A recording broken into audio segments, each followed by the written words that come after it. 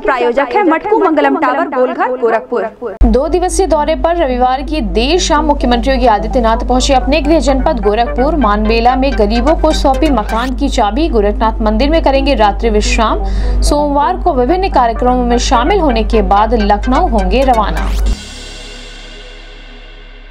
मुख्यमंत्री योगी आदित्यनाथ ने 103.98 करोड़ की लागत से निर्मित प्रधानमंत्री आवास योजना शहरी के 1500 लाभार्थियों के आवास आवंटन का बटन दबाकर किया लोकार्पण।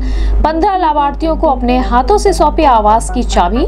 लाभार्थियों को दी बधाई व शुभकामना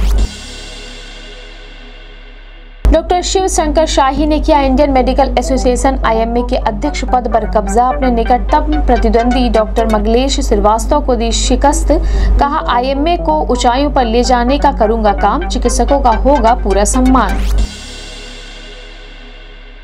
विश्व हिंदू परिषद के तत्वावधान में आयोजित हुआ धर्म रक्षा निधि समर्पण कार्यक्रम। मुख्य अतिथि विश्व हिंदू महासभा के केंद्रीय उपाध्यक्ष व श्री राम जन्मभूमि तीर्थ क्षेत्र न्यास के महामंत्री चंपत राय ने कहा, दिसंबर 2023 तक मंदिर निर्माण के पूर्ण होने की है संभावना।